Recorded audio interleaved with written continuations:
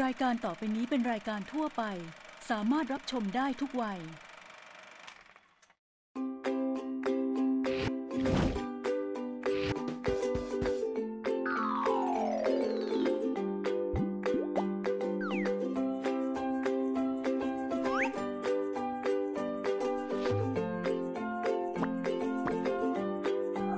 Health Society สุขภาพดีเข้าเส้น ผลิตภัณฑ์ยูซาน่า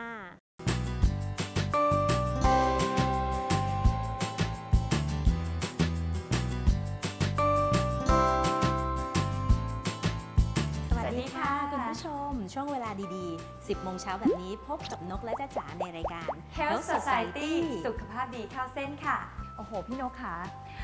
เราพูดกันถึงเรื่องของการดูแลสุขภาพมาเยอะมากเลย เรื่องของผักผลไม้เนี่ยเราก็พูดกันบ่อย พี่นกมีผักสดที่ชอบทานบ้างไหมคะอืมจริงๆพี่นกก็ชอบทานผักสดหลายอย่างนะ แต่ที่ค่ะเพิ่งทำไลฟ์ไปกับเอ่อแฟนๆแฟนเพจในแฟน Health เพจ Society เหรอคะนกชลิดาเนี่ยค่ะ ก็คือทำตำแตงแล้วก็ใส่ถั่วฝักยาวลงไปด้วย โอ้โหพี่นกค่ะถั่วฝักยาวเนี่ยเป็นผักมหัศจรรย์อีกหนึ่งชนิดค่ะอืมพี่นกที่วันนี้เนี่ยเจ้าจ๋าอยากจะเอามาแชร์ให้กับทุกๆคนได้ฟังนะคะ เพราะว่าเจ้าจ๋าทราบมาว่ามีการแชร์เรื่องของโทษของถั่วฝักยาวอืมเยอะมากค่ะค่ะ แล้วก็มีหลายองค์กรนะคะบอกว่าถั่วฝักยาวเนี่ยจริง ๆ แล้วเนี่ยมันมีโทษมากกว่ามีประโยชน์ ก็เลยไปเช็คมาค่ะ เพื่อค่ะให้คุณผู้ชมเนี่ยที่ชอบทานถั่วฝักยาวเนี่ย รับรู้กันว่าจริง ๆ แล้วถั่วฝักยาวมีโทษหรือมีประโยชน์อย่างไรค่ะ วันนี้นะคะเรามาเช็คแล้วก็แชร์กันได้เลยค่ะ เดี๋ยวไปชมกันนะคะในช่วง Healthy Recheck ค่ะ ช่วง Healthy Recheck กรุณาเช็คก่อนแชร์ ถ้าพูดถึงถั่วฝักยาวนะคะคุณผู้ชมก็จะแอบน้ำลายสอนิดนึงเพราะว่าค่ะเมื่อกี้พี่นกพูดหลายเมนูเลย ทั้งตำถั่วนะคะค่ะมีผัดถั่ว ถั่วเนี่ยใช้ในแกงเลียงก็อร่อยค่ะนะคะทำได้เยอะมากเลยทานได้ทั้งดิบทั้งสุกนะคะ แล้วก็ประโยชน์ของถั่วฝักยาวเนี่ยมีเยอะมากค่ะพี่นกค่ะทั้งแคลเซียมนะคะวิตามินซีฟอสฟอรัสโปรตีน ซึ่งโอ้โหมันดีอะค่ะอืมแต่อย่างที่อาจารย์บอกนะคะ มีหลาย ๆ องค์กรได้ออกมาบอกว่า จริง ๆ แล้วเนี่ยถั่วฝักยาวเนี่ยมีโทษสูงมากไม่แพ้กันค่ะ วันนี้ค่ะอาจารย์กับพี่โนก็เลยไปเช็คข้อมูลมาให้นะคะ แล้วก็พบว่า จริงๆ แล้วถั่วฝักยาวมีโทษหลักๆ 4 ข้อเท่านั้นเอง ค่ะ แล้วเรื่องของโทษถั่วฝักยาวในวันนี้เนี่ยเน้นไปถึงถั่วฝักยาวที่ดิบนะคะ ใช่แล้วล่ะค่ะค่ะเอาล่ะเรามาดูข้อแรกกันก่อนดีกว่านะคะบอกว่าถั่วฝักยาวเนี่ยรับประทานมากๆ แล้วท้องอืดอ้าวทำไมล่ะ เพราะว่าในถั่วฝักยาวนะคะ มีแก๊สอยู่สูงมากค่ะ ไม่ว่าจะเป็นคาร์บอนไดออกไซด์นะคะ ซัลเฟอร์ไดออกไซด์หรือว่ามีเทน ซึ่งพอเรามีแบบ แก๊สพวกนี้เยอะๆเนี่ยมันอาจจะทำให้เป็นกรดเกินในกระเพาะอาหารนะคะ ซึ่งก็แปลว่าท้องอืดได้ วิธีการแก้คืออะไร เราก็ต้องทานดิบแต่พอดี อาจจะเอาไปผ่านความร้อนให้มันสุกบ้างเล็กน้อยนะคะ แล้วก็รับประทานก็จะช่วยลดพวกการท้องอืดได้ค่ะอืมไออีกอย่างหนึ่งค่ะก็คือการท้องเสียอ้าวอืมเมื่อกี้ยังท้องอืดอยู่เลยนี่ท้องเสียแล้วเป็นไปได้นะคะ เพราะว่าในถั่วฝักยาวนะคะ จะมีสารไกลโคโปรตีน แล้วก็แลคตินอยู่ค่ะ ซึ่งสาร 2 ตัวนี้นะคะทำให้เราเกิดอาการวิงเวียน คลื่นไส้อยากจะอาเจียนค่ะ ซึ่งพอเรารับประทานไปมาก ๆ โดยเฉพาะแบบดิบนะคะ ซึ่งก็จะหมายรวมถึงถั่วดำแล้วก็ค่ะถั่วแดงด้วยนะคะ อาจจะเกิดความเสี่ยงต่อการแพ้อาหาร ซึ่งก็อาจจะทำให้ท้องเสียได้ค่ะนี่แหละค่ะก็ทานดิบมากเกินไปก็จะไม่ดีค่ะ ค่ะเพิ่มเติมกับที่จ๋ากล่าวไว้เมื่อข้างต้นนี้นะคะค่ะถั่วฝักยาวเนี่ยถ้าเราทานแบบดิบเนี่ยจะทำให้ท้องอืดเฟ้อได้ ค่ะแล้วก็อาหารไม่ย่อยไม่ย่อยค่ะยังไง คือในผนังเซลล์ของเอมถั่วฝักยาวเนี่ยค่ะมันจะมีความเหนียวมาก แล้วโดยเฉพาะอย่างยิ่งถ้าเกิดเรารีบเคี้ยวเคี้ยวไม่ละเอียดดีเงี้ยอ๋อแล้วกลืนลงไปค่ะมันก็จะไม่ไม่ย่อย ซึ่งถ้าหากว่าเคี้ยวไม่ละเอียดอย่างนี้นะคะ สิ่งที่ซีเรียสมากซึ่งเป็นประการที่ 3 ก็คือค่ะจะก่อให้เกิดอาการลำไส้อุดตัน แล้วก็ติดเชื้อ ทั้งในลำไส้แล้วก็กระเพาะอาหารเลยนะคะค่ะข้อ4ค่ะ การรับประทานถั่วฝักยาวบ่อยๆนะคะ มีความเสี่ยงที่จะเจอการปนเปื้อนของยาฆ่าแมลงค่ะในปี พศ 2558 จากการสุ่มตรวจของกระทรวงสาธารณสุขนะคะกับไทยแพนเนี่ยพบว่าในถั่วฝักยาวเนี่ยมีการปนเปื้อนของยาฆ่าแมลงสูงมาก เป็นอันดับ 2 รองจากกะเพราซึ่งอันดับ 2 นี่ก็ตั้ง 37.5%แล้วลองคิดดูดิคะถ้าสมมติเราสั่งแบบ ผัดกะเพราพิเศษ ผักเยอะๆ ไอ้ถั่วฝักยาวเนี่ย มันก็จะเป็นสิ่งที่พิเศษขึ้นมา แล้วโอ้โหทั้งกะเพราทั้งถั่วฝักยาวเบอร์หนึ่งเบอร์สองในเรื่องการปนเปื้อนยาฆ่าแมลง ซึ่งเป็นพิษกับร่างกาย วิธีที่จะป้องกันตรงนี้ได้ต้องเลือกทานแบบออร์แกนิกจริง ๆ อันนี้น่าจะอยู่ใน list ที่ว่าถ้าซื้อทานนะไม่ว่าจะเป็นสตรอเบอรี่ก็ตามเอิ่มถั่วฝักยาวก็ตาม หรือว่าพริกนะคะ หรือบรอกโคลีพวกเนี้ยถ้าเลือกเป็นแบบออร์แกนิกได้พึงเลือกเป็นออร์แกนิกเลยค่ะเพราะไม่อย่างนั้นเนี่ยคุณหลีกเลี่ยงยาฆ่าแมลงยากมาก เพราะว่าใช่ค่ะมันเป็นพืชที่แบบแมลงชอบกินนะคะค่ะเขาก็เลยต้องฉีด ใช่แล้ว และนี่นะคะก็คือโทษภัยของถั่วฝักยาวทั้ง 4 ประการค่ะ ที่พี่นกกับภาษาเช็คแล้วค่ะค่ะ เราเน้นย้ำนะคะว่าภัยสีประการเนี่ยมาจากการรับประทานถั่วฝักยาวแบบดิบๆนะคะใช่ถั่วฝักยาวยังทานได้อยู่แต่ควรเลือกเป็นแบบออร์แกนิก เพื่อให้ปลอดจากการปนเปื้อน แล้วถ้าสมมติว่ากลัวเคี้ยวไม่ละเอียด ก็ซอยเป็นเล็กๆๆๆๆแบบที่เขาวางไว้ข้างขนมจีนอ่าค่ะแต่ลวกก่อนใช่นะค่ะเพื่อที่ตัดปัญหาประกันทั้งปวง หรือจริงๆก็เอาทำสุกเลยค่ะ ค่ะ อร่อยด้วยได้ประโยชน์ด้วยค่ะ ค่ะ ข้อมูลนี้เราเช็คแล้วด้วยความเป็นห่วง ใช่แชร์ค่ะ ได้เลยค่ะ Health Society สุขภาพดีเข้าเส้น Health Society สุขภาพดีเข้าเส้น ช่วง Anti Aging ชีวิตชะลอวัย สำหรับในช่วง Anti Aging ชีวิตชะลอวัยในวันนี้ นกพาคุณผู้ชมมาอยู่ที่งาน The Emporium Love Life Share ค่ะ และในวันนี้เราก็จะคุยกันถึงหัวใจนะคะสำคัญของ Anti Aging อีกอย่างหนึ่ง นั่นก็คือ Exercise หรือการออกกำลังกายค่ะ คุณผู้ชมเป็นคนหนึ่งที่รู้สึกว่าได้เวลาที่จะออกกำลังกายละ แต่พอไปออกกำลังกายกับเกิดอาการบาดเจ็บนะคะ เหมือนกับว่าอาการเนี่ยมันซ้ำสุดลงไม่ดีไปกว่าเดิม นั่นเป็นเพราะว่าในเรื่องของการออกกำลังกายเนี่ยเราไม่สามารถนะคะที่จะออกตามใครตามเทรนด์อย่างนี้ไปได้สำคัญมากที่เราจะต้องทำความเข้าใจเกี่ยวกับตัวของเราเอง ว่าเรามี limit ขนาดไหนนะคะ แล้วเราพร้อมที่จะออกกำลังกายใช้ร่างกายเราไปในแบบใด ซึ่งทั้งหมดเหล่านี้นะคะ อยู่ในศาสตร์ที่เรียกว่า Sport Medicine เดี๋ยวเราจะได้มาฟังกันค่ะว่าการออกกำลังกายแบบชะลอวัยหรือ anti aging นั้นเป็นยังไง จากอาจารย์สมบูรณ์รุ่งพรชัยเจ้าของแอป Medix Medical Fitness ค่ะ การออกกำลังกายเพื่อชะลอวัย แล้วก็สุขภาพดีรูปร่างดีด้วย เป็นยังไงคะคุณหมอ anti aging exercise เนี่ยค่ะ ครับผม การออกกำลังกายมันมีหลัก เยอะแยะครับ เพราะว่าเราเล่นเพื่อแบบความสนุกสนานก็ได้ เราเล่นเพื่อเออร่างกายแข็งแรงก็ได้ แต่ว่าพอพูดถึง anti aging หรือการออกกำลังกายเพื่อการชะลอวัยเนี่ยมันจะไม่ไม่เหมือนกันแล้วครับ อันนี้คือการเน้นการออกกำลังกายที่จะต้องไม่เสี่ยงต่อการบาดเจ็บเลยนะครับการที่เราใช้แขนใช้ขา ถ้าองศาในการเคลื่อนไหวที่มันไม่ตรงเนี่ย ค่ะมันมีสิทธิ์ที่มันจะเกิดแรงกดผิดปกติทำให้ข้อเราสึกมากกว่าอีกข้างหนึ่งแล้วก็สะสมจนทำให้เราเนี่ยมีปัญหาเรื่องปัญหาเรื่องเจ็บข้อหรือการเคลื่อนไหวได้ เพราะฉะนั้น anti aging ก็คือ การวางแผนการใช้ร่างกาย การเดิน การยืนที่คุณวางแผนตัวเองว่า จะต้องอยู่ไปได้จนถึง 80 90 หรือ 100 ปี โดยที่หลังยังต้องตรง ค่ะแขนขาแข็งแรงครับผมอ่า งั้นเดี๋ยวเรามาลงมือเล่นการออกกำลังกายกันเลยดีไหมคะคุณหมอเดี๋ยวครับระหว่างผมการออกกำลังก็จะพูดคุยสอบถาม ความรู้คุณหมอใช่เพิ่มเติมครับ ไปด้วย ครับค่ะผมจะเป็นการสาธิตการออกกำลังกายแบบไหนคะคุณหมอ อ่าจะเป็นการค่ะออกกำลังกายที่ที่เล่นเองที่บ้านเป็นท่าปกติ แต่จะให้เห็นว่าคนที่เล่นถูกกับเล่นผิดเนี่ยมันเล่นต่างกันยังไงครับค่ะผมเพราะฉะนั้นท่าที่ ที่แบบแรกที่เราจะจะสาธิตนะครับ ให้เทรนเนอร์โชว์วันนี้นะก็คือท่าแกว่งแขนเคยเคยได้ยินใช่ไหมฮะได้ยินให้ค่ะครับผมอ่าเห็นไหมฮะแกว่งเหมือนเขาเกรงหน้าอกด้วยค่ะคุณหมอ ใช่ไหมฮะเวลาแกว่งค่ะเนี่ยก็คือช่วงไหล่เนี่ยเขาเอ่อขยับแต่ว่าตัวส่วนตัวต่างๆ นิ่ง ตลอด อ๋อนี่คือท่าแกว่งแขนปกติขยับแค่ไหล่เท่านั้น ใช่โดยเฉพาะสังเกตตรงตัวสะบักนะครับ ค่ะนิ่งเลยฮะ เห็นไหมฮะเขาแกว่งแต่แขนอย่างเดียว ค่ะ แต่ลองดูถ้าเกิดคนทั่วไปท่าเป็นยังไงครับอะค่ะ คนทั่วไปค่ะครับผมแกว่งเห็นไหมฮะแกว่งยกไปไหล่เราเราใช้ไหล่เป็นตัวบ่าเป็นตัวแกว่งนะฮะเห็นไหมฮะจะเห็นว่าตัวสะบักที่เมื่อกี้นิ่งๆอะฮะค่ะ มันเหวี่ยงไปเหวี่ยงมา ซึ่งตรงเนี้ยมันหมายความว่า คุณกำลังแบบใช้หัวไหล่คุณเนี่ยคดไปคดมาเสียดสีกันอยู่ตลอดเวลาค่ะ นั้นแกว่งแบบนี้เนี่ย มีแต่ว่าจะรอวันว่าเมื่อไหร่จะจะต้องแบบเจอหาหมอ เพราะว่าอ๋อไหล่จะเริ่มเจ็บค่ะท่าที่สองที่เอ่อคนนิยมทำเอ่อที่บ้านค่ะ มากก็จะเป็นลดหน้าท้อง ค่ะ หน้าท้องยื่นทำยังไงดีคะหลายๆคนทำทุกวันเลยซิทอัพใช่ใช่ทำยังไงครับถูกต้องแล้วก็ sit ได้ up ครับผมหน้าท้องกระชับอย่างแท้จริงนี่คือท่าที่ถูกต้องนะครับ ค่ะ ท่าซิทอัพที่ดีนะคุณจะต้องใช้กล้ามเนื้อหน้าท้อง เป็นค่ะตัวโยกตัวเองขึ้นมาค่ะข้างบน โดยที่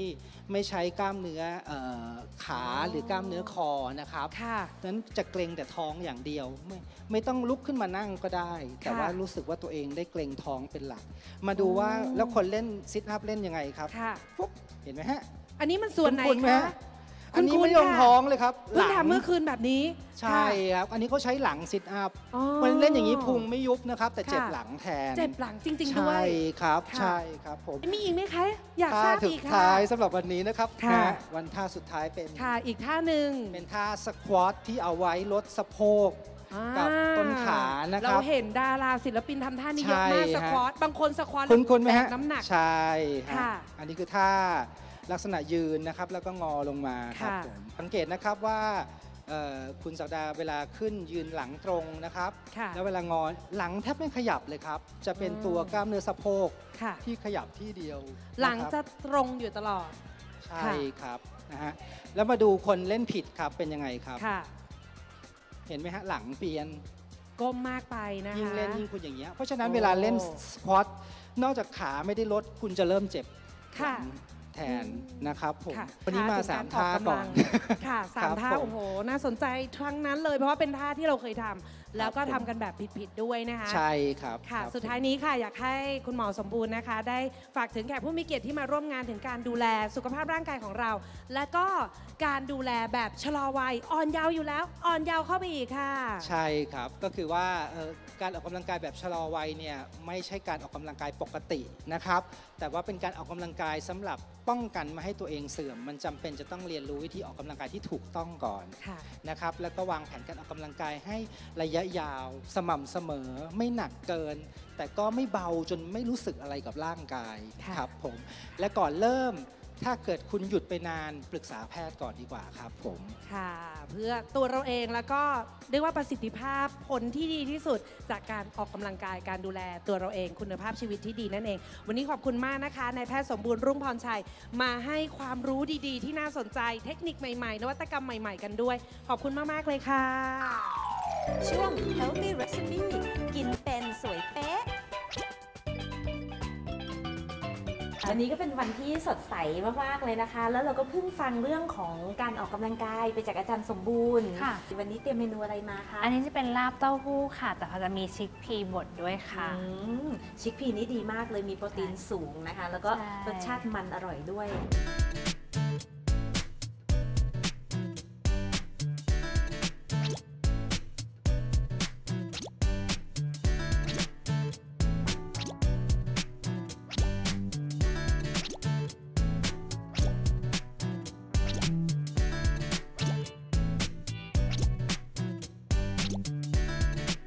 ดี๋ยวเรามาเริ่มกับการย่างเต้าหู้นะคะ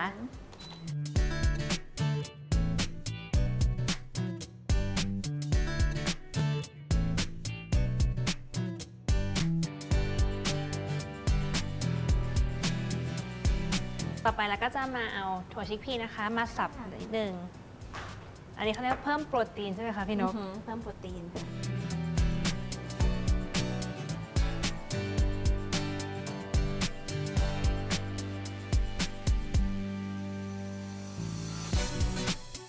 แล้วก็จะเติมตัวนี้ค่ะ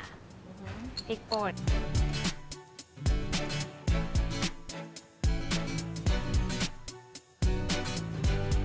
ตบท้ายด้วยข้าวคั่วนะคะค่ะเดี๋ยวรบกวนพี่นกหน่อย อาหารลาบๆขาดไม่ได้เลยค่ะใช่ข้าวคั่วค่ะค่ะสำหรับข้าวคั่วนะคะ ก็เป็นข้าวเหนียวที่นำมาคั่ว แต่วันนี้สูตรที่พี่นกเอามาให้พราวเนี่ยค่ะมันจะมีส่วนผสมของน้ำมะนาวผงนะคะ แล้วก็อืมตะไคร้ที่เขามาแบบว่า คั่วด้วยกันกับข้าว ให้หอมใบมะกรูดอีกอันนึงพอเคยใช้ข้าวคั่วแบบทั่วไปกลิ่นไม่หอมเท่านี้เลยนะคะ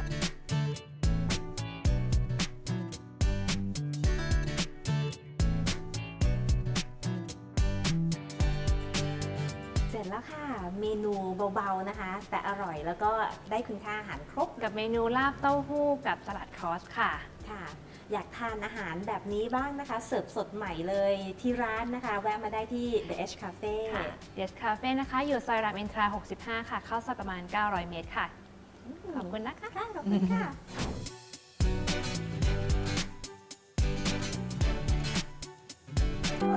Health Society สุขภาพดีเข้าเส้น Health Society สุขภาพดีเข้าเส้น ช่วง Healthy in Style สุขภาพดีชีวิตดีดี BSC Smoothie Map ช่วง Healthy in Style สุขภาพดีชีวิตดีดีวันนี้นกพาคุณผู้ชม มาที่ชั้น 8 อาคาร Helix DM q u a r t i e r BTS พร้อมพงษ์นะคะขณะนี้นกอยู่ที่ร้าน Pot Ministry ที่ร้านนี้จะรวมสุดยอดอาหารสุขภาพ จากทุกภาคของประเทศไทย มีเมนูอะไรบ้างต้องตามมาเลยค่ะ ตื่นตะลึงกับ Presentation สุดเก๋ของเขานะคะ พลาดไม่ได้เลยต้องเมนูนี้ค่ะ โอ้มันลึกกึ๋ยกุ้งแช่น้ำปลานั่นเองค่ะ ที่พอดมินิสทรีแห่งนี้นะคะ เป็นร้านสุขภาพที่อยู่ในดวงใจของนก ร้านล่าสุดเลยล่ะค่ะ ที่นี่รวมของดีนะคะ ที่ดีต่อสุขภาพมาก ๆ ของไทยรวมทั้ง 4 ภาคไว้ด้วยกัน เมื่อก่อนจะต้องเป็นคนท่องเที่ยวไปไกลมาก เพื่อให้ได้อาหารสุขภาพครบทุกภาค แต่ตอนนี้มาแค่ที่อาคารเฮลิกชั้น 8 นะคะครบทุกอย่างเลย ส่วนเมนูที่ไม่ต้องแบ่งแยกภาคเลยนะคะ เพราะเชื่อว่าถูกใจคนไทยที่ชอบกินหมูทุกคน นั่นก็คือข้าวอบหมูกรอบคั่วพริกเกลือค่ะ แล้วก็ถัดมาค่ะ เป็นหมี่พันธุ์เมืองลาบแปลอุตรดิตถ์ค่ะ ส่วนจานนี้เราก็จะไปล่องใต้กันนะคะ เพราะว่าหมูที่ใส่เนี่ยกับก๋วยเตี๋ยวเส้นใหญ่คลุกเคล้ากับกะปิค่ะ กลิ่นหอมน่าทานมากๆ แล้วก็เรื่องของน้ำซุปก็ไม่ยิ่งหย่อนไปกว่ากันค่ะ ถ้าสมมติอยากจะทานแบบเหนือเนี่ยก็จะเป็นต้มแหนมหมูยอนะคะ ภาคกลางเป็นเกาเหลาหมูตุนเนื้อตุนส่วนภาคอีสานก็เป็นแจ่วฮ้อน ส่วนภาคใต้ก็จะเป็นต้มส้มแกงเหลืองนะคะ มีขมิ้นหรือว่าทูเมริกเนี่ยต้านอนุมูลอิสระเยอะมาก ลองเนื้อออสเตรเลียเขาสักหน่อยละค่ะนี่ถัดมานกจะขอพูดถึงเรื่องของเกลือที่ใช้หมักเนื้อสเต็กที่ร้านนะคะ ก็เป็นเกลือทะเลเนี่ยที่โหดีกับสุขภาพเลย แล้วก็ในการมาหมักเนี่ยเขาก็จะมีสมุนไพรนะคะที่เป็น international เลย international ในเรื่องของการต้านการอักเสบก็คือขิงค่ะ เอาเกลือนะคะมาผสมกันกับขิง แล้วก็หมักเนื้อสเต็กส่วนนี้เป็นโรสแมรี่ซึ่งนกว่าโรสแมรี่เนี่ยมันเจ๋งและดีมาก ๆ เลยค่ะ เพราะทุกครั้งที่ใครถามนกว่าทานเนื้อย่าง จะป้องกันมะเร็งจากเรื่อง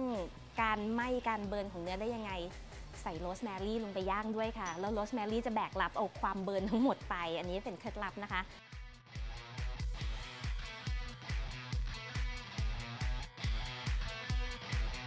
ตบท้ายด้วยไอศครีมกะทินะคะ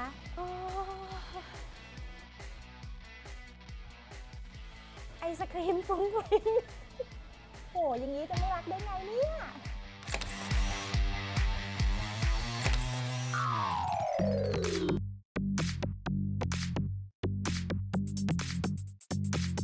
สไตล์การแต่งหน้าวันนี้ของเรานะคะ Perfect Nude ค่ะ เผยผิวเปล่งประกายมีออร่าด้วยสไตล์การแต่งหน้าโทนสีนูดค่ะ เทคนิคที่จะทำให้ผิวเปล่งประกายมีออร่าก็คือการเลือกใช้คูชั่นค่ะ วันนี้คูชั่นของเรานะคะ BSC Cushion Perfect Cooling ค่ะ ปกปิดผิวได้เรียบเนียนสนิทนะคะ และมอบความเย็นสดชื่นสบายผิวด้วยค่ะ กดแท็บเบาๆ เริ่มบริเวณใต้ตานะคะ แล้วกระจายให้ทั่วหน้าค่ะ ผลลัพธ์ที่ได้ ผิวจะดูเรียบเนียนสว่างใส ค่ะ มีออร่าขึ้นทันทีเมื่อผิวหน้าเรียบเนียนแล้ว เราก็เข้าสู่เทคนิคของการปรับรูปหน้าให้ดูมีมิติมากยิ่งขึ้นค่ะ โดยลงไฮไลท์ช่วงบริเวณใต้ตาหน้าผากสันจมูก ปลายคางแล้วก็ช่วงมุมปากค่ะ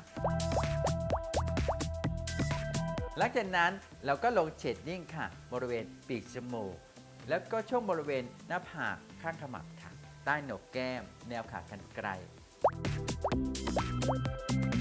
ลี่ยให้ดูกลมกลืนหายไปกับผิวค่ะรูปหน้าเรียบเนียน คมเข้มมีมิติแล้วนะคะเราก็ให้สีสันเมคอัพกันเลยค่ะ โดยสีตานั้นเราก็เลือกใช้ในโทนสีนูดนะคะ โดยการใช้โทนสีครีมอ่อนๆนั้น ระบายทั่วเปลือกตาค่ะ แล้วก็ช่วงบริเวณหนุกคิ้วนะคะ เลือกใช้โทนสีเอิร์ธอมน้ำตาลนะคะไล่ตรงช่วงกระบอกตาจากหางตามายังหัวตาค่ะ เพิ่มความคมเข้ม ให้กับลูกกระบอกตาด้วยโทนสีน้ำตาลค่ะ ทั้งขอบตาบนและก็ขอบตาด้านล่างค่ะ ส่วนรูปคิ้วเราก็ใช้แปรงปัดเซตคิ้วขึ้นก่อนนะคะ หลังจากนั้นก็ใช้ดินสอวาดโครงคิ้วขึ้นมาระบายด้านในให้คมเข้มค่ะ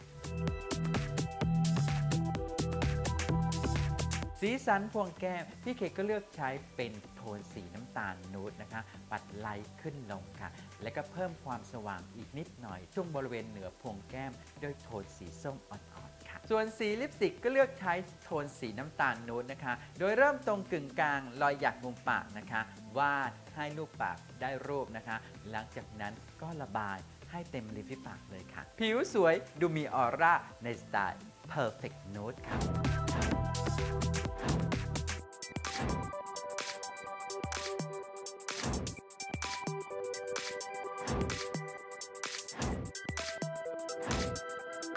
ขอขอบคุณผู้ให้การสนับสนุนการมีสุขภาพดีแบบเข้าเส้น เรื่องสำอาง BSC Cosmetology มหาวิทยาลัยแม่ฟ้าหลวงกรุงเทพ ผลิตภัณฑ์ไร่ทิพย์ขอขอบคุณสถานที่ถ่ายทำรายการสวยๆ The Unique สุขุมวิท 62 ทับหนึ่งและขอขอบคุณเสื้อผ้าพิธีกรจาก DVF